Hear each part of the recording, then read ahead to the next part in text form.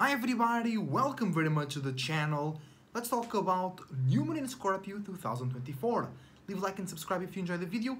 Use the links down below to know more of my content and to get in contact with me for services. So first, New Moon Scorpio, what is it? It means we are creating new emotions and feelings that go very, very deep within ourselves, within our memories, our privacy, our transformative situations, and also the, these new deep emotions are coming from or they are creating or related in some way with deep desires, deep passion, motivation, anger, and frustration. But the thing is, last year there was a new one in Scorpio too, but it's different because the way it's aligning with ourselves and the sky, it's different and we grow and change all the time as well. So let's take a look at this specific event in today's sky. Thank you for watching once again and let's get started. So we have new moon in Scorpio, fatal, no, not fatal attracting, conjuncting Mercury in Scorpio as well. So that means that how we communicate, analyze and socialize it's going to be in the same perspective, the same realm as the new as these new deep emotions and feelings. So communication with general public might be hindered but communication with personal important and valuable relationships it's going to be a bit more fluid or if it's not fluid even if you clash some heads or if there is some misunderstanding because it's a deep subject it's a deep theme the spirits will communicate more clearly between each other without using so many or so so much sophisticated words right? But also it means that we might create new mental powers to understand deep subconscious patterns and some traumas, some things in the past that made us transform in a forceful way. You know what I'm saying? Moving on, Venus is in Sagittarius, so Venus is fatal attracting the new moon in Scorpio.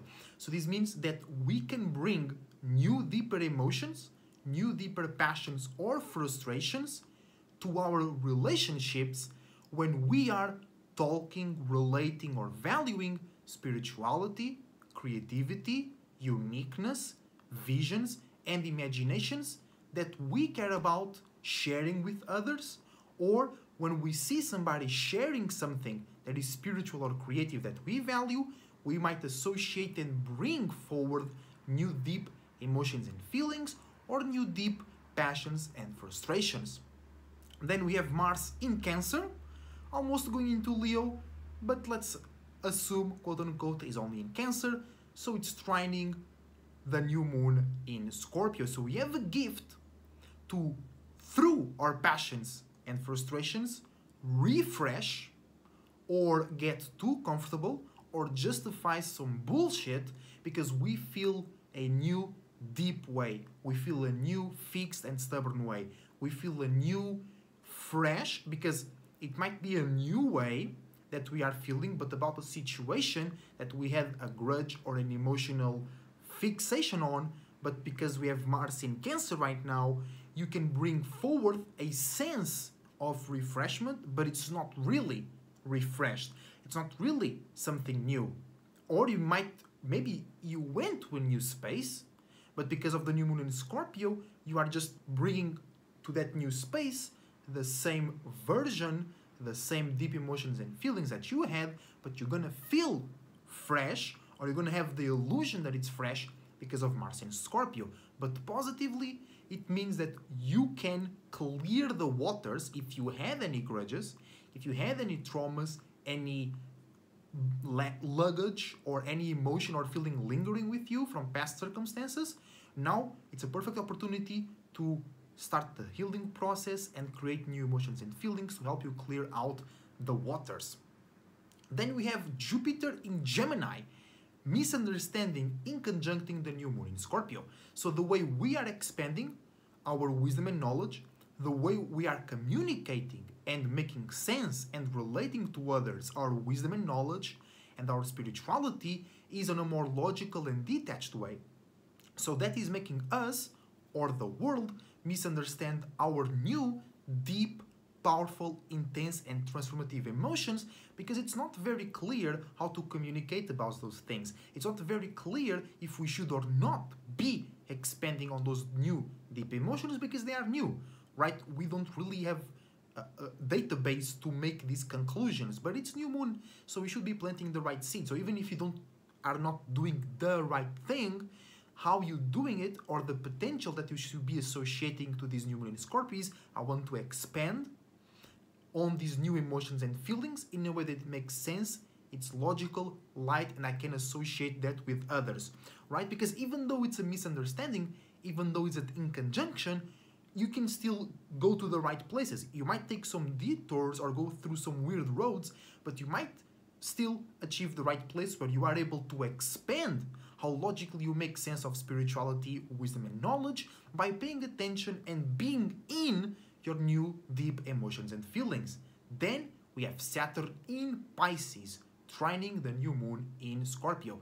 So this means we have a gift to bring new consistency, stubborn or stuckness to wherever dream and illusion we were building in the real world through infrastructure, networking, association, and how we use our routine and patterns to achieve a bigger situation.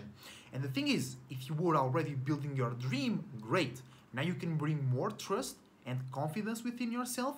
You can bring more security and more consistency. But if you are building an illusion and something that you can't rely on, you're gonna go deeper and you're gonna bring more consistency and structure to that. And you don't want that, right? And this goes way deeper than this because Saturn in Pisces can be seen through a lot of lenses, but everything that deals with your dreams and illusions everything that deals with your creativity and spirituality can now be connected in a real way. All right? And the new moon in Scorpio can help you just be more confident or more insecure, more private, or more sure about those things. Make sure to plant the right seeds. Make sure that you are building the right things with the right groups of people and with the right mentalities. Then you have Uranus in Taurus opposing New Moon in Scorpio.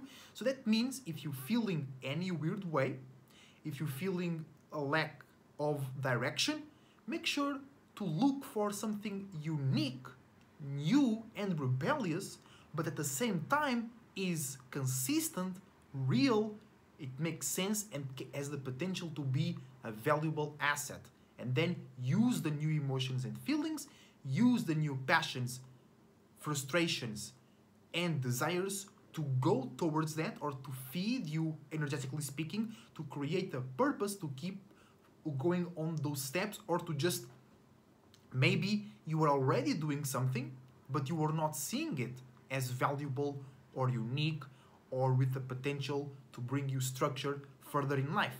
And right now, maybe you're realizing, oh, because it's an opposition, so it's right in front of you and maybe you were looking it from a weird angle. So now it might be just in front of you and it might just be what you needed to go deeper. Because like I said, maybe you were already in it, but now you can go deeper with New Moon in Scorpio. On the negative side, you just might feel new ways to be more private, insecure, and run away from that unique, physical, stable circumstance. Then we have Neptune in Pisces trining New Moon in Scorpio, a gift to create new anchors to big, grandiose dreams or illusions. Like the Saturn alignment, it's all about are you going for your dreams or going for some illusions and nightmares?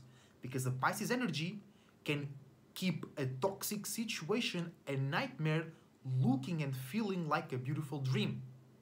And then that's the situation where you need to use the opposite energy of Virgo to make sure you are making sense and you are being efficient emotionally and energetically speaking. And lastly but not least, we have Pluto in the cusp of Aquarius and Capricorn. And here we're going to use both energies because it has been there for a very, very long time.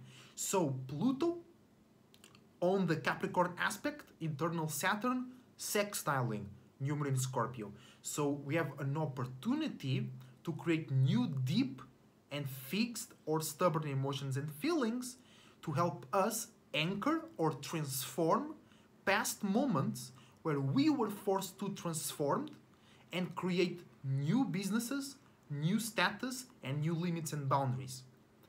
Pluto on the Aquarius side, the external side of Saturn, squaring New Moon in Scorpio. So we are learning how to use those deep emotions and feelings that we are creating right now that deal with our passions and frustrations to transform ourselves and how we think and communicate in a unique and logical way so we can expand and be a part of a big circumstance and of a big group but have our own purpose have our own anchor mind fixation and soul regulation so you are not a bee in the hive you are the bee in the hive you know what i'm saying and it's everything for today, guys. Thank you very much for watching. Your support is greatly appreciating. That's how the new moon in Scorpio is aligning with the rest of the sky. So now you know how to do better and you can do better and even feel better and just see better as well. Thank you for watching. Use the links on below and I see you next time.